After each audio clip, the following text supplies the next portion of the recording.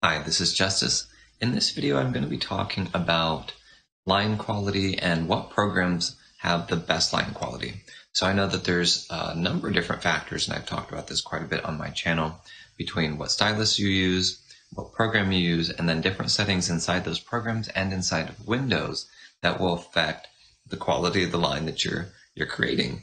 Now, as an artist, there's not much that's more frustrating than really bad line jitter what that looks like, um, let's go ahead and we will open up Clip Studio. Hello, Clip Studio. Uh, on the left of the screen is the Artist Pad from Tablet Pro, which I'll be using for this demonstration. All right, so this is the Surface Pen, and you can see the line is wiggly. And that's with me trying to draw a straight line. If you draw faster, almost every single program is going to create a straighter line for you. And if you zoom in, you zoom in, it's going to create a better line. Now, I don't use the Surface Stylus because I don't think that it is quite as good. I use the R520. And you can see there's a pretty significant difference in that line jitter between those two stylus. Okay, but what we're actually talking about in this video is the programs and the program settings for that. So I picked, yes, I had picked the top four drawing programs for line quality. The different programs use different algorithms to decide how that line gets smoothed and then also how fast or slow that process is. In some programs, when you're you're stabilizing a line, the line may be extremely laggy, and that ruins it for me. Especially when there's options that don't have that problem. All right, so let's go ahead. We're going to open up the four that we're doing for this one is Photoshop, which I don't like because it's Photoshop and it's not fully um, it doesn't fully support simultaneous pen and touch. So for me, that's slower. A great brush engine, and just should be said off the bat, is easily one of the most powerful, if not, if not the most powerful drawing program for digital artists. Uh, I would put it right there with uh, Clip Studio Paint as being the most feature rich with a great brush engine. Okay, so Photoshop, Rebelle 4, kind of the new guy on the scene. Uh, Rebelle, I just got done doing all of the tutorials for Rebelle and love, love the program. And they just released an update that supports simultaneous pen and touch and has improved pressure curves. Um, so it's just absolutely brilliant and supports tilt. We're going to go through um, Paint Tool Sai was my default in the past, uh, just because it is the fastest of all of the programs. So lowest latency, less, the least amount of lag, um, and beautiful blending. And then uh, Clip Studio Paint. So those are the four we're looking at: Photoshop, Rebelle 4, um, Paint Tool Sai, and Clip Studio Paint. Most of the other programs that I'm not picking are because they're pretty bad. Uh, like Krita does not do a great job by default uh, most of these can be set. Um, I just don't like I just don't like lines in Krita. I know there's going to be people who are complaining in the comments section saying it's wonderful. Maybe I've just not spent the time setting it up. That said, Autodesk Sketchbook just not very good. Medibang not very good. Just a lot of the other ones just I just don't like the way the lines look. Okay, so let's go ahead and just look at the different settings. Uh, we're going to start in Rebelle since I'm here already. Isn't this pretty? I did the colors on this last week and uh, it was really fun actually. Okay, so let's, uh, we're going to pick a darker color and draw slowly from left to right. This is kind of a standard jitter test. If you draw fast, you're going to get these nice smooth lines. And then the properties panel here, you have an option for line smoothing. You can do pulled string, which I think is really cool. You can see this little physics-based string. And so you have pressure.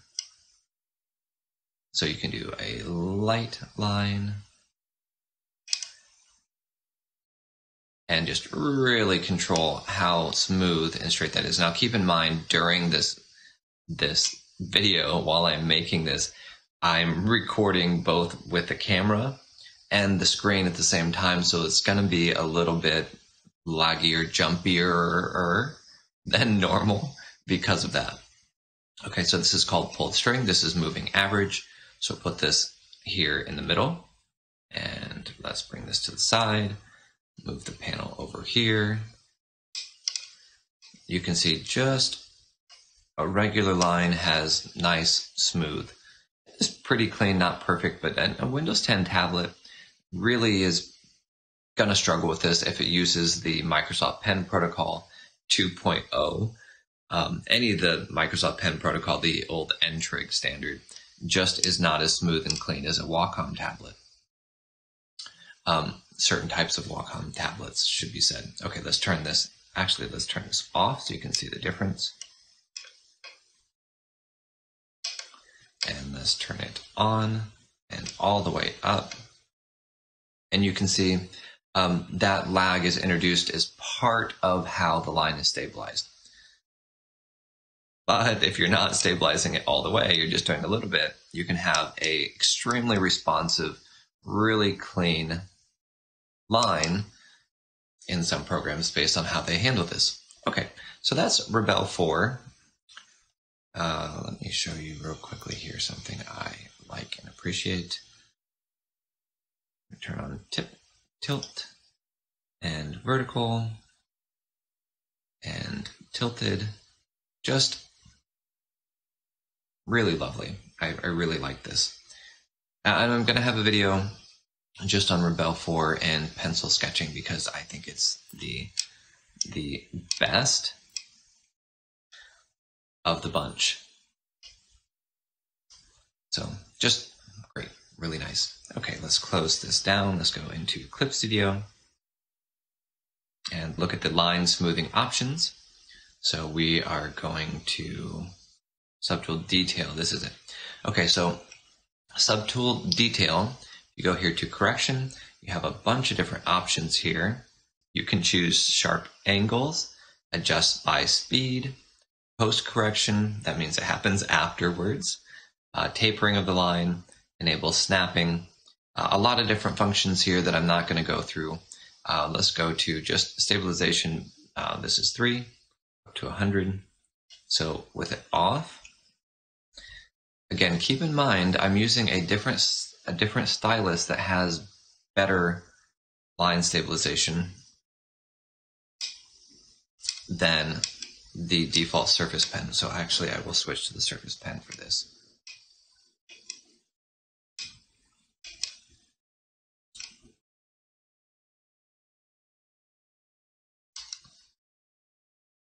There we go. Okay, so this is Leonardo. Leonardo is extremely fast, but does not, by default, do a very good job with the lines you can see here. Line smooth. Smoother, you can still see some of this wave here in the line. And you can adjust how much.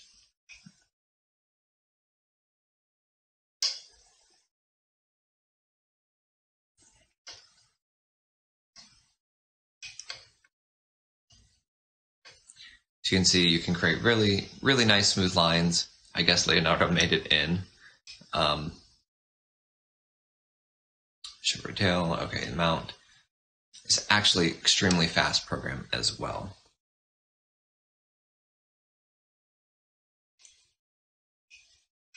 Okay, so you can see there, don't save, you can see kind of what that looks like.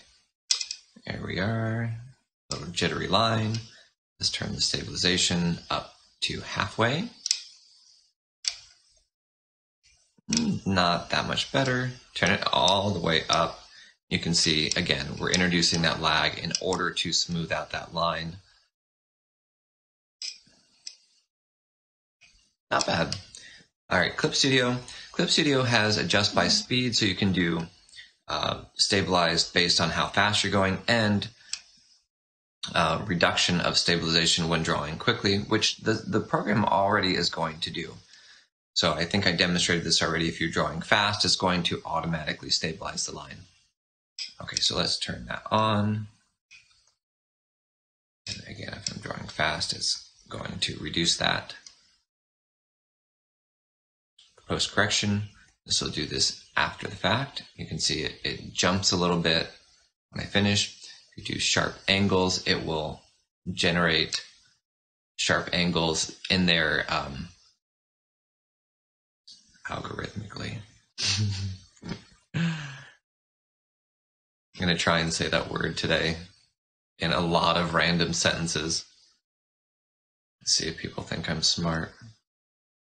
Ooh. All right. So you can see a lot of different settings here. I really like their brush engine and the way that they, they do lines. Mm-hmm. Okay, let's close that. Looking at Paint Tool Sai and create a new one. Uh, Paint Tool Sai requires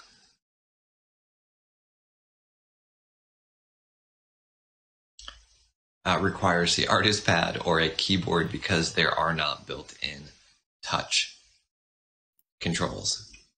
Okay, so here's Paint Tool Sai. The lines in Paint Tool Sai are beautiful and so lovely. It really does an amazing, amazing job of color blending and so fast.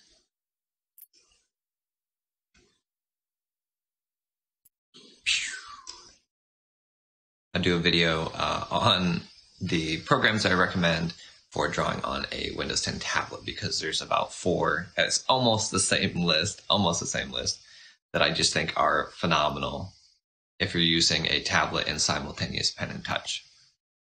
Basically with the artist pad, but I think that's it's the most enjoyable. You're using two hands, navigate and paint and switch tools. It just feels it feels right. Okay, so the stabilization inside of Paint Tool Sai. Okay, so inside of Paint Tool Sai is a little tricky, but go ahead and double tap on the tool and then you're going to have stabilizer mode. You can choose between version 1.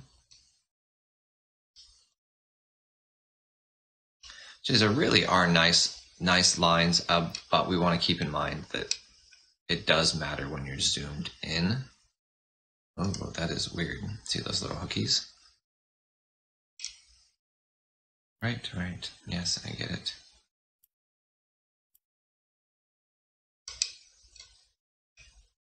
Okay, so when you're zoomed in, of course, it does make a difference. Now, wow, we're going to double click here, version uh, normal, no, normal mode. And let's adjust. and see 15 is the highest, and then you have S. These are the hold string modes, although you may not be able to see the string. I don't know actually if it displays it or not, but here, because the program is so fast, you can keep the stabilizer level really high and it does a great job. Just no lag, but a nice clean line.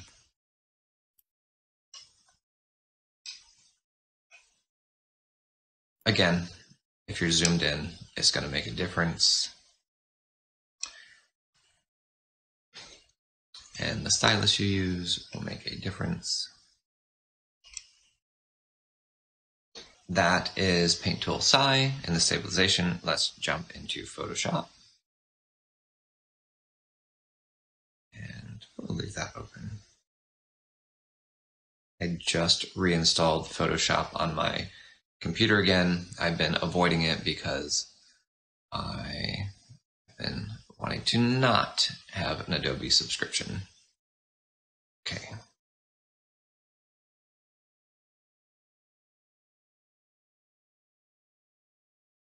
Okay, so here we are inside of Photoshop. You can see the line has some jitter. Um, by default, it's still better than a lot of other programs. The smoothing you have right here, you can drag and adjust the smoothing. You can adjust the types of smoothing like pulled string mode like is in Rebelle.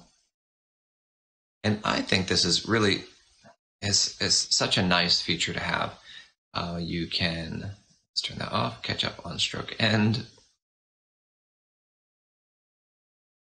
So it's got this this slow tapering in to the end just to get you that clean finish to the line. Adjust for zoom again because if you're zoomed in, you're going to use less stabilization is needed. So it just means it's going to be more responsive. All right, so those are the options inside of Photoshop. Again, it's a great program. I just am not a fan of the subscription and the bloatiness of it. Okay. All right, that's it. Those are the four programs I recommend. Um, again, zooming in is going to help. Using a different stylus is going to help. And then using the built-in stabilization of the software will make a big difference for you. If you have a Windows 10 tablet and a stylus, this is a fantastic channel for you. So if you're not subscribed, please subscribe and I will see you in the next video.